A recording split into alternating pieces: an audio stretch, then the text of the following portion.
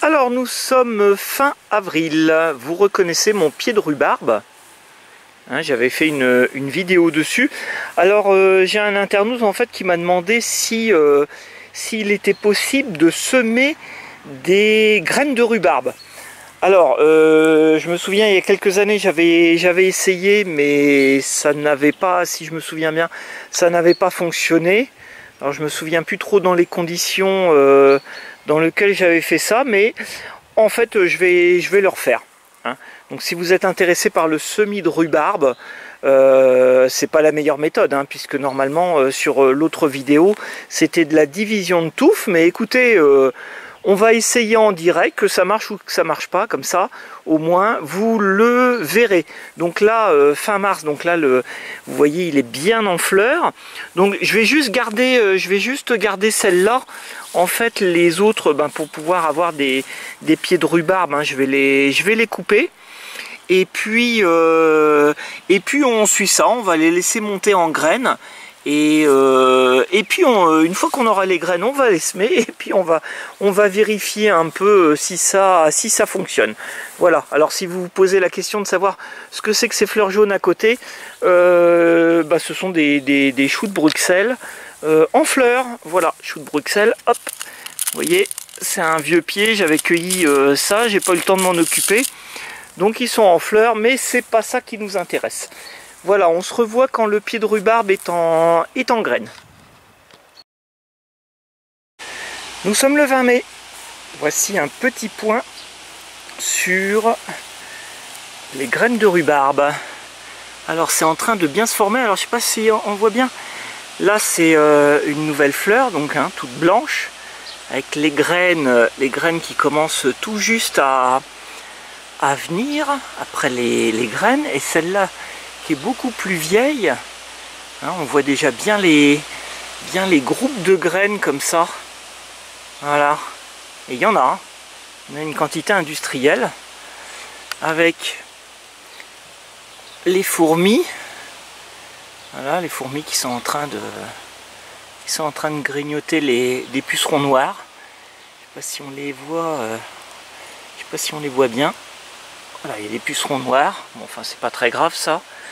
Enfin voilà, on va les laisser mûrir tranquillement. Nous sommes le 15 juin. Cette fois-ci, les graines sont bien mûres. Alors remplies de, de pucerons à l'intérieur, mais ça c'est pas grave. Donc voilà, je vais en prélever. Alors je vais, couper la, tige. Hein. La tige elle sert plus à rien. Euh, et, on se retrouve pour le semis. Alors en fait j'étais en train de réfléchir comment j'allais euh, prendre les graines euh, une par une et en fait ce qui s'est passé c'est qu'en laissant tomber le, la, la, branche en fait regardez ils sont tous tombés vous voyez très simple et puis ça prouve au moins qu'ils sont, qu'ils sont mûrs donc je vais en ramasser une poignée et puis on se retrouve tout de suite voilà, alors là j'ai fait au plus simple, hein, mais vous connaissez le principe. Une caissette avec des trous, un terreau de semis, ce qui compte c'est qu'il soit sans engrais, euh, arrosé au préalable. Alors j'ai fait également deux, petits godets, hein. vous pouvez les, faire en godet. Et donc j'ai ramassé ma, poignée de, graines. Donc de toute façon c'est un essai. Donc hop, voilà. Je mets un peu partout. Là, je vais en mettre 2-3 dans les pots. Voilà, donc les pots, hop, je vais les recouvrir. Voilà. Là, je vais prendre de la terre, c'est pareil. Recouvert légèrement. Voilà.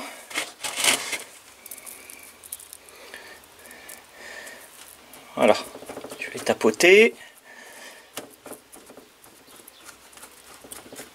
Voilà, alors je vais mettre une étiquette avec, euh, avec la date. Voilà, c'est à peu près à peu près recouvert. De toute façon, c'est un essai. Hein. Voilà, si jamais ça, prend, euh, malheureusement je ne les garderai pas. Je vais pas avoir à, m'en servir. Donc voilà, eh ben, euh, écoutez, on va voir en combien de temps ça va se, ça va lever. Alors je vais les, euh, je vais les laisser, bah, les laisser dehors hein, parce que tout le monde n'a pas de, tout le monde n'a pas de serre. Donc je vais les placer dehors et puis, et puis on suit ça. A plus tard. Nous sommes euh, début août.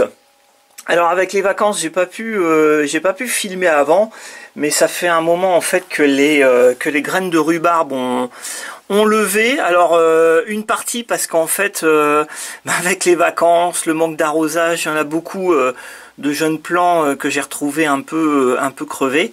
Euh, donc voilà, toujours le problème des, vacances. Vous voyez, il y a, une nouvelle pousse là qui commence à, venir. Bon, plein de plein de graines qui qui elles n'ont pas prise aussi. mais bon, manque d'entretien. Mais bon, l'essentiel. Hein, que je voulais vous, vous montrer, c'est que c'est que ça fonctionne. Donc là, il suffira en fait de les de les prélever. Regardez, je vais vous je vais vous montrer. Voilà, vous prélevez. Hein, il y a un peu de racines. Euh, vous les plantez euh, euh, dans un pot avec un, petit peu de terreau, avec un peu d'engrais. Et puis, et puis ma foi, je pense que d'ici d'ici l'automne, si vous avez un petit coin dans le jardin, vous pouvez le faire aussi directement en pleine terre évidemment. Euh, mais voilà, hein, vous pouvez le. Ça, ça fonctionne aussi par semis, bien que on, a dit euh, que la division de touffe euh, c'était quand même meilleur. Vous voyez, il y a, un nouveau plan ici qui prend. Donc je suis sûr que si je laisse la, la caissette de semis tranquille, il y aura d'autres d'autres levées, très probablement. Mais bon, là c'était juste, euh, une expérience. Donc le, semis de rhubarbe, hein, ça, ça fonctionne. Voilà, à plus tard pour une nouvelle vidéo. Allez, une toute petite dernière avant de, poster la, vidéo. Euh, nous sommes début euh, octobre, donc vous voyez, là, ils ont vraiment super bien poussé. Mes, mes, trois, pieds de, mes trois pieds de rhubarbe. Alors dans le, dans la terrine en fait, euh, donc il y en a des nouvelles qui ont, qui ont poussé. Voilà, alors j'en profite pour vous montrer mon super beau pied de potiron qui n'a rien à voir avec la rhubarbe, mais c'est pas grave. Voilà, donc cette fois-ci c'est bien fini, à plus tard.